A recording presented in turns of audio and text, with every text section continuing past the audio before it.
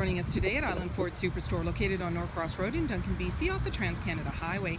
We're in the Cowichan Valley on Vancouver Island. Today we're looking at a 2014 Fiesta SE in tuxedo black with gray cloth interior, seating for five, four doors, and a hatch. This is a front-wheel drive, four-cylinder engine. It's really easy to get into this vehicle. Just talk to our sales team. They'd be happy to take you out on a test drive. And should you require financing, our finance team is friendly and knowledgeable. Speaker in the door as well as power locks, windows, and mirrors. The driver's seat is manually adjusted and your lighting controls are located here. Your steering wheel can tilt and telescope and on the face of it you have your hands-free dialing as well as cruise control. When we start up the vehicle we're going to see what gear we're in as well we have the option of pushing the button here. We can see our trip, kilometers to empty, average, and then the temperature outside as well as the odometer reading. In the center you have a four quadrant screen, information to the top right, phone to the top left, settings to the bottom right, and entertainment. And this is a touch screen so you can go through your media choices.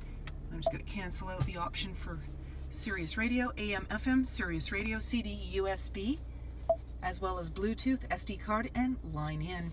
Below that is your CD player, and then you have your volume and tuner, as well as your hazard lights, locks.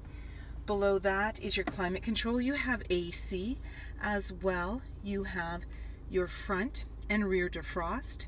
And then there's your settings for the fan and there's your max AC. And you've also got that temperature outside. Off to the side here on either side, you've got the driver heated seat, passenger heated seat, and ambient lighting. You've got a little cubby here, an automatic select shifter, as well as your emergency parking brake. There's your 12 volt outlet, a couple of cup holders, and you're seeing sort of that glow. That's the ambient lighting. Your armrest opens up, and inside you've got more storage, as well as auxiliary line, SD card, and USB. Off to the side is your glove compartment. Up above is a manually dimming rear view mirror, lighting controls, and sunglass holder. 16 inch wheels, mud flaps, body color door handle, driver's side capless, easy fuel gas filler. The back hatch has a spoiler and a windshield wiper, and when you're ready to open up that hatch, you can do so by double clicking your fob. It power releases it for you and then you just put your hand under the Ford logo and lift right up. And inside it's nice and roomy and carpeted and you also have that little tonneau cover that keeps everything out of sight.